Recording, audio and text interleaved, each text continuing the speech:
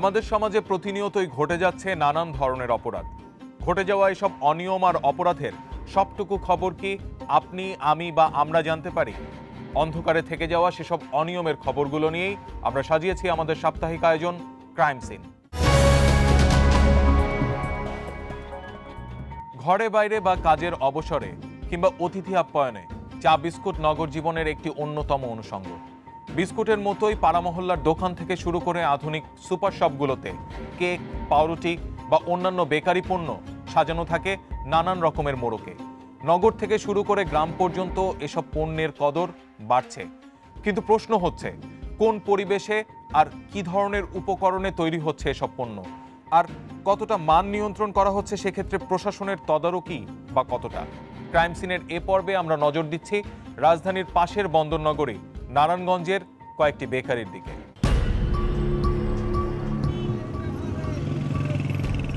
Office আদালতের বাইরে নানা কাজের ব্যস্ত মানুষের অবসর মানেই আয়েশ করে চায়ের কাপে চুমুক দেয়া। আর সেক্ষেত্রে চায়ের সাথে কমপক্ষে একটি বিস্কুট বা কেক যেন অবিচ্ছেদ্য অংশ।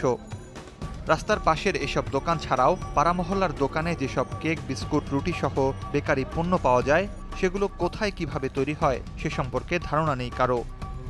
এটা তো আমরা পুরোপুরি জানি না। পেটে খিদা লাগে কাজকর্ম করে যখন খিদা লাগে তখন আমরা খাওয়া আরম্ভ আসলে স্বাস্থ্যসম্মত না কিন্তু অনেক দরিদ্র হিসাবে খাইতেছি আর কি।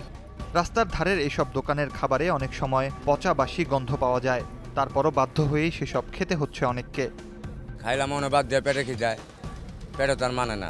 উদা খাইলে ভালো লাগে চাঁদা ভিজা খাইলে পচা গন্ধ করে ডিমের। অনেক সময় দেখা যায় ডিমের সরকা পাওয়া যায় অনেক সময় দেখা যায় আপনার ময়দার ওই বস্তার সুতো পাওয়া যায়। চুল যায় সময়। বেকারির এসব খাদ্যপণ্য বিক্রি হচ্ছে নামি দামি অনেক দোকানেও। নারায়ণগঞ্জ শহরের একটি অভিজাত বেকারির নাম সুগন্ধা বেকারি। শহর জুড়ে এই বেকারির বিক্রয় কেন্দ্র প্রায় ডজন খানেক। বেশ আস্থার সাথেই এসব দোকান বা বিক্রয় কেন্দ্র থেকে খাবার কিনছে মানুষ। পণ্যের মান সম্পর্কে বিক্রেতাদের দাবিও ভালো। মান নির্ণয়ের একশো পার্সেন্ট পুরো ভালো। আমাদের এরকম কোনো ঝামেলার সৃষ্টি হয় না। এটার প্রত্যাশাটা এইভাবেই করি যে যদি দাম বেশি হয় মানে খাবারের মানটা ভালো দেখা এই জন্য আমরা এই দোকান থেকে কিনি। এসব দাবির সূত্র ধরে নারায়ণগঞ্জের গলাচিপা এলাকায় সুগন্ধা বেকারিতে ক্রাইম সিন টিমের পরিদর্শন। বেকারিতে প্রবেশ করতেই দেখা গেল অস্বাস্থ্যকর পরিবেশ। খাবার তৈরির জন্য শ্রমিকদের পোশাক পরিচ্ছেদের ক্ষেত্রেও নিয়ম নীতি মানা হয় না এখানে। না আলাদা আমরা কোনো পোশাক নেই নিজের নিজের পোশাক পরি। নোংরা পরিবেশে খাবার তৈরি এবং বাজারজাত করার জন্য ভ্রাম্যমাণ আদালত এই প্রতিষ্ঠানটিকে জরিমানাও করেছিল। এছাড়া কেকসহ বিভিন্ন পণ্য তৈরির জন্য বিএসটিআই এর অনুমোদনও নেই প্রতিষ্ঠানটির। আমাদের তো ইনশাল্লাহ সব কিছু দেখে ঠিক পায় ওকে পায় কাগজপত্র পায় তারপরও হয়তো কিছু ইটি পায় হয়তো ময়লা টলা বা এরকম দেখে বিশ হাজার এরকম জরিমানা করে। নারায়ণগঞ্জ শহরের দীঘুবাবুর বাজারের ফলপট্টি এলাকার আলেকজান্ডার বেকারিতে গিয়েও দেখা গেল অস্বাস্থ্যকর পরিবেশ। বেকারির ভেতরে ময়লার সাথে বাসা বেঁধেছে তেলাপোকা। খোলা ড্রেন থেকে দুর্গন্ধ ছড়াচ্ছে। এখানকার পরিবেশ ও বিএসটিআই এর অনুমোদন নিয়ে দ্বিমত জানা গেল কারখানার ভেতরেই। শ্রমিক ও কর্মকর্তাদের মতামত ভিন্ন। আমাকে দেখে পারমিট দিচ্ছে তেলাপোকা হাঁটা আর কোনো ময়লা থাকা অবস্থা এই জিনিসটা রাখাটা ঠিক না। নারায়ণগঞ্জের পশ্চিম তল্লায় অবস্থিত Soleman bread and biscuit factory. Jewel ব্র্যান্ডের বেকারি পণ্য তৈরি এবং বাজারজাত করে প্রতিষ্ঠানটি। এই বেকারিতেও নিম্নমানের উপাদান দিয়ে তৈরি হচ্ছে খাবারগুলো। বেকারির ভেতরের দৃশ্য ধারণ করতে প্রবেশের সময় ক্যামেরা দেখে চড়াও হয়ে ওঠেন এর মালিক মোহাম্মদ জুয়েল। আজকে আছে ভাইজান একটা ফ্রিমেন্টে বলেন গণমাধ্যমের সাংবাদিক মানে ষোলো আনার এক আনা দুই আনা আপনাকে সত্য হইলেই চলে। কোনো কথাই শুনতে রাজি নন তিনি তবে ভ্রাম্যমাণ আদালত আসলে তাদের মুখোমুখি হতে রাজি তিনি। বিএসটি আসব তারা তদন্ত করে যে কোনো কিছু পায় তারা জরিমানা করব। বা যারা আইনের মাধ্যমে যেটা আছে তাই করব ঠিক না? এদিকে বৌজামাই চানাচুর নামের কারখানায় ক্রাইম সিন টিম পৌঁছলে তোড়জোড় শুরু হয় গেট বন্ধ করে দেয়ার। পরে ভেতরে ঢুকে দেখা যায় নোংরা পরিবেশ আর চানাচুর তৈরির ক্ষেত্রে নিম্নমানের ডাল ও মশলার ব্যবহার হচ্ছে দেদার। ওই এমন মিস্ত্রি আছে তার কাছে বলেন না। হাতে বানাই না হাতে আনি। মেশিনের গোড়ায় কোনো আনতে হাতে নাহলে তো মেশিন গায় না এই। পোড়া তেলে ভাজা হচ্ছে মচমচে এই চানাচুর। পণ্য তৈরির কোনো অনুমোদনপত্র দেখাতে পারেনি এর মালিক পক্ষ। উল্টো উত্তেজিত হয়ে পড়েন মালিকের ছেলে। এটা আপনি ওনার কাছে সব জানতে পারবেন। না না আপনি ওনার কাছে সব জানতে পারবেন। কাগজ নিয়ে আপনার কাছে যাইবে আপনার আসতে হবে না ঠিক আছে? সব কাগজপত্র আপনার যা যা দরকার আছে সব দেখাইবে। এসব খাবার খেয়ে মানুষ কী ধরনের স্বাস্থ্য ঝুঁকিতে পড়তে পারে সে বিষয়ে আমরা মুখোমুখি হই পুষ্টি গবেষকদের। তো ভেজাল জাতীয় খাদ্য খাওয়ার পরেই পেটের প্রবলেমটাই বেশি হয়। বিভিন্ন রোগের ডায়রিয়াজনিত রোগ, আমাশয়, বদহজম, আলসার, এগুলো কিন্তু হচ্ছে আর কি। তার সাথে দেখা যায় যে লিভারের প্রবলেম হচ্ছে, হতে পারে, হয়। কিডনিতে প্রবলেম হয়, ব্রেনের প্রবলেম হয়, এমনকি হার্ট, লাং এগুলো প্রবলেম হয়। অনেক সময় অস্থি মজ্জাতে প্রবলেম হয়। হয়ে রুগীর রক্ত তৈরি কম হয়, রক্ত শূন্যতা দেখা দেয়। নারায়ণগঞ্জে নোংরা, অস্বাস্থ্যকর পরিবেশে খাবার তৈরি করছে এমন প্রতিষ্ঠানগুলোর বিরুদ্ধে কেন ব্যবস্থা নেওয়া হচ্ছে না? সে বিষয়ে জানতে আমরা সিটি মেয়র সেলিনা হায়াত আইভের কাছে যাই। যখন পৌরসভা ছিল এটা, পৌরসভার আইনটাতে আমাদের অনেক ক্ষমতা দেওয়া ছিল। তখন কিন্তু পৌরসভার আমলে আমার স্যানিটারি ইন্সপেক্টর রেগুলার আপনার ইন্সপেকশনে যেত। যেহেতু মেস্টেট নাই আমাদের আমাদের মেস্টেটের জন্য আমরা চিঠি লিখেছি। যদি গভর্নমেন্ট আমাদের একজন মেস্টেট প্রোভাইড করে, তখন হয়তো আমরা এই কাজটা আরও একটু জোরালোভাবে করতে পারব। একই সাথে আমরা জানার চেষ্টা করি নিয়ম না মেনে এবং স্বাস্থ্যগত বিষয়গুলো বিবেচনা না করে এ ধরনের খাবার তৈরি করলে বিএসটিআই কী ধরনের পদক্ষেপ নিতে পারে? কারখানার অস্বাস্থ্যকর নোংরা পরিবেশ যেটা আর কি সে সকল ক্ষেত্রে আমাদের সার্ভিলেন্স আছে। এমন কিছু হার্মফুল এলিমেন্টস পাওয়া গেলো যেটা মানব স্বাস্থ্যের জন্য অত্যন্ত ক্ষতিকর সেক্ষেত্রে আমরা সরাসরি লাইসেন্স বাতিল করি। জনস্বার্থে এসব বেকারি খাদ্যের মান নিয়ন্ত্রণে কর্তৃপক্ষের কঠোর নজরদারি দাবি করেছেন সংশ্লিষ্ট সবাই। ক্রাইম সিনের সময় হলো একটা বিরতি নেবার। আর বিরতির পর এসে জানাব ভুয়ার অ্যাপ পুলিশের কিছু অপরাধের খবর।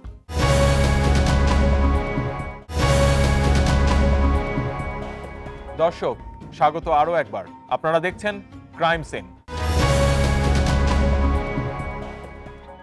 রাজধানীতে পুলিশ, র্যাব আর ডিবি পরিচয়ে একাধিক চক্র সক্রিয়ভাবে নানান রকমের অপরাধ কর্মকাণ্ড চালিয়ে যাচ্ছে। এদের হাতে থাকে ওয়াকিটকি হ্যান্ডকাপ আর ক্ষুদ্র অস্ত্র। বড় অঙ্কের টাকা লেনদেন কিংবা ব্যাংক থেকে টাকা তোলা বা টাকা জমা দেওয়ার খবর, এরা সংগ্রহ করে নিজস্ব সোর্সের মাধ্যমে আর পরিবহনের কাজে ব্যবহার করে সাদা মাইক্রোবাস খিলগাঁও, রাত এগারোটা বিশ। সিসিটিভির ফুটেজে দেখা যাচ্ছে পরিবারের সদস্যরা রিক্সা করে বাসায় ফিরছেন। এ সময় একটি সাদা প্রাইভেট কার তাদের সামনে দিয়ে চক্কর দিয়ে যায়। গাড়িতে পুলিশ লেখা স্টিকার দেখে তারা একটু ভরসা পেলেও পরক্ষণেই সেই কথিত পুলিশ দলটি গাড়ি থেকে নেমে অস্ত্রের মুখে তাদের সবকিছু ছিনিয়ে নেয়।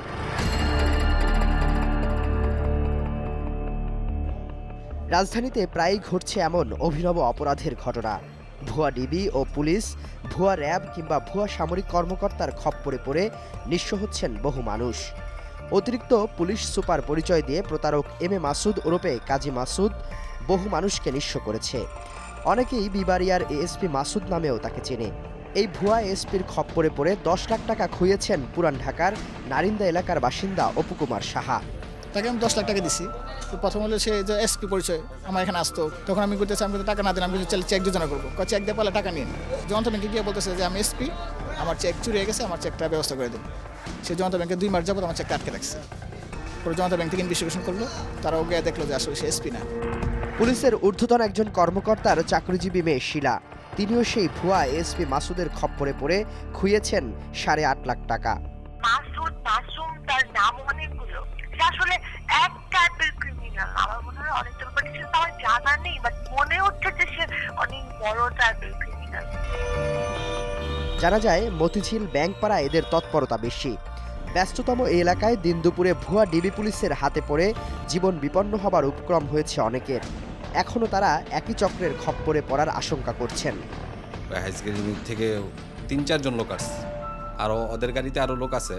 তো হাইসগাড়ি থেকে নাইমেই বলতেছে যে আমার কমনের মধ্যে দইরা বলতেছে যে খবরদার আমরা ডিবির লোক ডিবি অফিসে চলো। গত চব্বিশ নভেম্বরের ঘটনা। রাজধানীর ধানমন্ডি থানার পাশে স্বরাষ্ট্রমন্ত্রীর বাসার সামনে দিয়ে হেঁটে ব্যাংকে যাচ্ছিলেন বেসরকারি ব্যবসা প্রতিষ্ঠানের কর্মী আমিরুল হাসান। সকাল দশটায় মন্ত্রীর বাড়ির সিসিটিভির ফুটেজে দেখা যায়, একটি কালো গ্লাসের গাড়ি তার সামনে এসে থামে।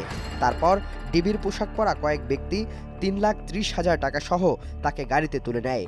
প্রতিষ্ঠানটির মালিক শফিকুল ইসলাম বাদী হয়ে পরদিন ধানমন্ডি থানায় মামলা করলেও টাকা উদ্ধার তো দূরের কথা, দু মাসে একজন আসামিকেও শনাক্ত করতে পারেনি পুলিশ। এখন পর্যন্ত কোনো রকম ট্রেস বা আসামি ধরা বা টাকা উদ্ধার কোনোটাই এখন পর্যন্ত সম্ভব হয়নি। মতিঝিল বিমান অফিসের সামনের একটি ব্যাংক থেকে তিন লাখ টাকা তুলে বের হবার পরপরই গোয়েন্দা পুলিশ পরিচয় দিয়ে ব্যবসায়ী মুশফিক হোসেনকে জোর করে একটি সাদা মাইক্রোবাসে উঠায়। তো আমি চিল্লাচিল্লি করতেছি যখন, তখন ওই যে ড্রাইভারের পিছনে যে জায়গাটুকু ছিল, ওইখানে আমাকে উপর করে শোয়াইছে। শোয়ানোর পর আমার ঘেটির উপরে পা রাখছে। ওরা আমার চক্ষু বাঁধিয়ে ফেলছে মানে হাতে হ্যান্ড কাপড় পরাই ফেলছে। অপরাধীরা তাকে নির্যাতন করে টাকা পয়সা হাতিয়ে নেওয়া ছাড়াও তার পরিবারের সব খোঁজ খবর নিয়ে রাখে। সে কারণে তিনি পরে আর ভয়ে ঘটনাটি থানায়ও জানাননি। আমার সব বাইটরা নিয়ে নিয়েছে আমি আমি বাঁচার জন্য আমি যা বলার তা বলছি। সামনে একজন লোক ছিল উনি বলতেছে যে বস লোক তো ধরে ফেল স্যার লোক তো ধরে ফেলছি। আসামি তো ধরে ফেলছি। তো ধরে ফেলছি এখন আসামিকে কী করব? তখন ওইখান থেকে আসলো যে গুলি করে দেবে ভুয়া পুলিশ সাজার জন্য প্রয়োজন হ্যান্ডকাপ ওয়াকিটকি এবং মাইক্রোবাস বা প্রাইভেট কার এ ধরনের দলে দুর্বৃত্তদের সদস্য সংখ্যা থাকে চার থেকে সাতজন। তারা নিজস্ব সোর্সের মাধ্যমে টার্গেট ঠিক করে। ভুয়া ডিবি কর্মকর্তা সেজে হ্যান্ডকাপ ওয়াকিটকি হাতে নিয়ে রাস্তায় দাঁড়িয়ে গাড়ি তল্লাশি নামে অপরাধ করে। এমন একটি দলের প্রধান রুস্তম। কথা হয় রুস্তমের সাথে। বাজাজের পালসার ব্লু কালার। গাড়িটা নিয়ে আমি আর চঞ্চল। চঞ্চল চালায় আমি পিছনে উঠে চলে আসি। সুজন নিজেকে সবসময় পরিচয় দিতেন ডিবির সিনিয়র কর্মকর্তা হিসেবে। রাজধানীর আফতাবনগর এলাকা থেকে এই ভুয়া ডিবি কর্মকর্তাকে গত পাঁচ মে গ্রেপ্তার করা হয়। এ সময় তার সহযোগী আট ভুয়া পুলিশকেও গ্রেপ্তার করা হয়। এই চক্রের আরেক দলনেতা বারেক। ব্যাংক থেকে টাকা উঠাবার পর সংশ্লিষ্ট ব্যক্তিকে মাইক্রোবাসে তুলে টাকা পয়সা হাতিয়ে নিয়ে ছেড়ে দেয় সে। এসব ভুয়া পুলিশ বা ডিবি পরিচয় দানকারী অপরাধীরা যে কেবল সাধারণ মানুষের সাথেই প্রতারণা করছে তা নয়, তারা পুলিশ বাহিনীর মর্যাদা নষ্ট করে দিচ্ছে। এমন দুর্বৃত্তদের হাত থেকে সাধারণ মানুষ কেমন করে নিষ্কৃতি পাবে, সেই প্রশ্ন ছিল পুলিশের এই কর্মকর্তার কাছে। প্রতারক যারা দেখবেন যে আইন শৃঙ্খলা রক্ষাকারী বাহিনীর নাম অবৈধভাবে ব্যবহার করছে বা তাদের সদস্য বলে পরিচয় দিচ্ছে তাইগুলো আমরা কিন্তু নিয়মিতই আমাদের কাছে ধরা পড়ছে এবং তাদেরকে আইনের আওতায় আমরা আনছি। পাশাপাশি আমরা বলব নাগরিকরা যদি আর একটু সচেতন হন, তাহলে এই ধরনের প্রতারকদের যে প্রতারণার যে জাল, সেটি আস্তে আস্তে গুটে আসবে। ক্রাইম সিনে নিচ্ছি আবারও একটা বিরতি। আর বিরতির পর এসে জানাব, নারায়ণগঞ্জে ঘটল আবারও অপহরণের ঘটনা।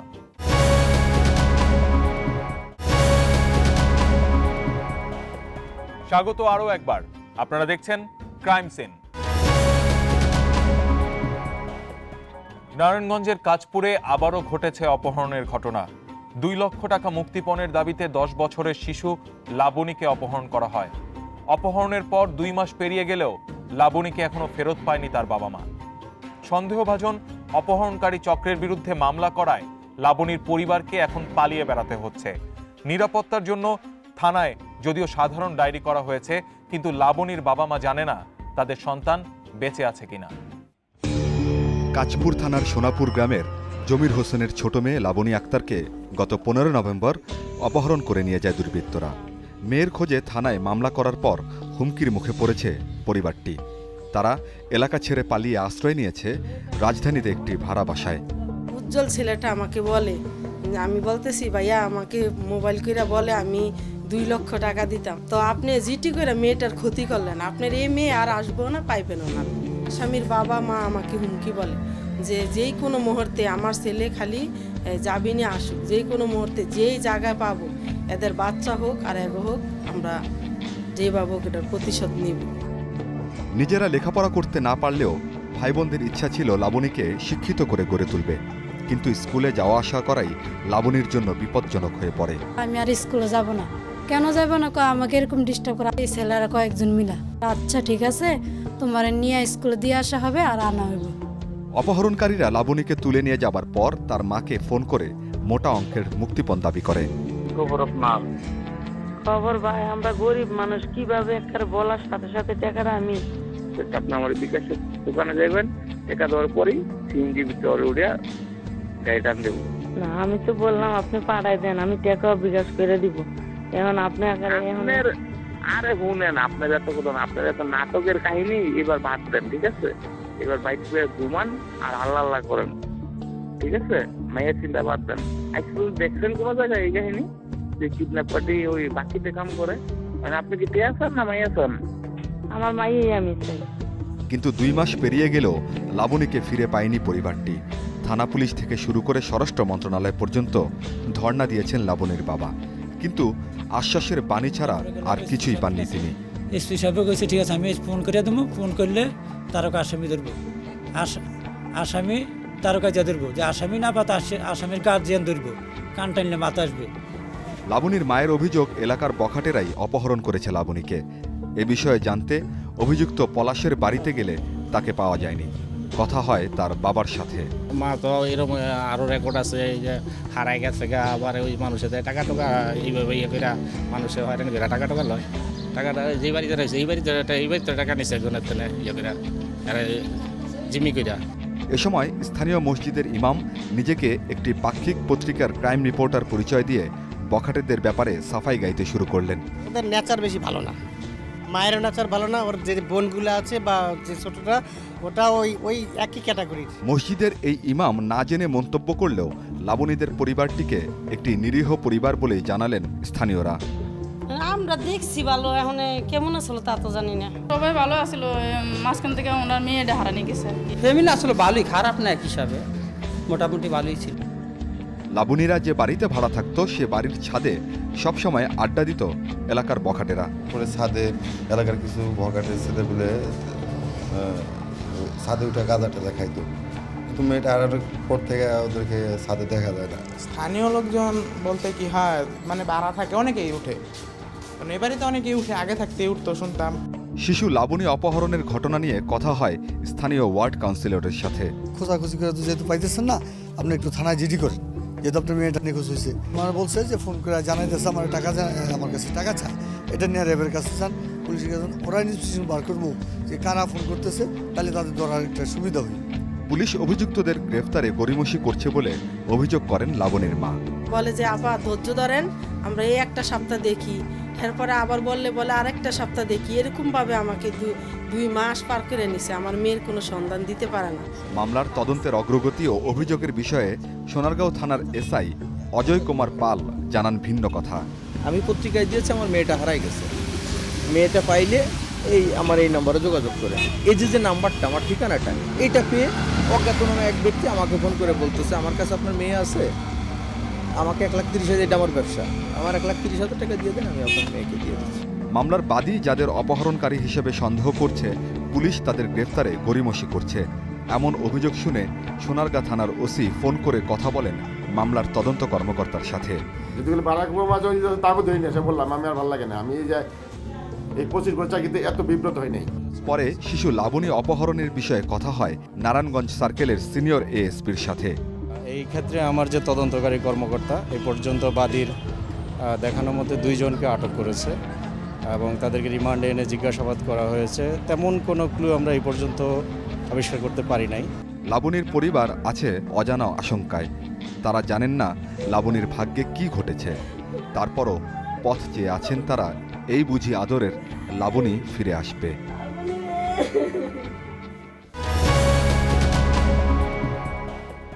আপনি আমি সচেতন হলেই সমাজ থেকে অপরাধ প্রবণতা অনেকাংশে কমিয়ে আনা সম্ভব। প্রতি সপ্তাহেই আমরা আপনাদের জানিয়ে দিই এমন একজন ওয়ান্টেডের নাম, যাকে খুঁজছে পুলিশ। এ সপ্তাহের আসামির নাম এস কে আরএফএন ঠিকানা ভোলা, বরিশাল। গায়ের রং ফর্সা, উচ্চতা পাঁচ ফিট সাত ইঞ্চি। বয়স আটত্রিশ বছর। রাজধানীর খিলক্ষেত থানায় হত্যা মামলার এই আসামিকে ধরিয়ে দিলে পাঁচ লাখ টাকা পুরস্কার দেবার ঘোষণা করা হয়েছে। মামলার নাম্বার দশ, এগারো, বারো, চোদ্দ। যোগাযোগ করতে পারেন শূন্য এক নয় দুই চার এক পাঁচ এক পাঁচ নয় নয় এই নাম্বারে।